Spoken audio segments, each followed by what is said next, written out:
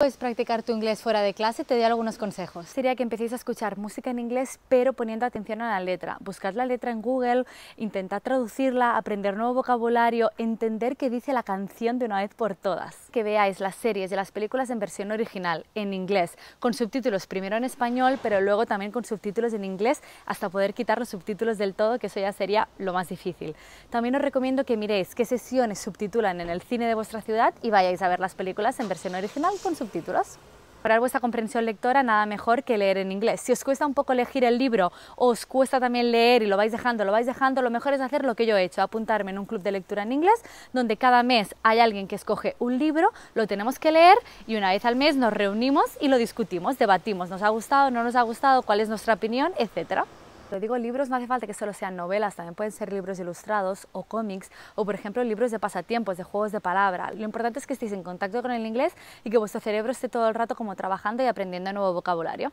música, también podcast o por ejemplo escuchar las noticias de Australia en inglés, poned la radio nacional y escuchar las noticias o si os gusta algún influencer que hable delante de cámara como estoy haciendo yo pero en inglés también iría muy bien o vídeos de YouTube de alguien que os guste, por ejemplo si sois aficionados del fútbol, poneos vídeos que hablen de fútbol pero en inglés, de la música lo mismo, del deporte lo mismo, intentad buscar personas de referencia que hablen en inglés y así haréis oído todo el rato y diferentes acentos.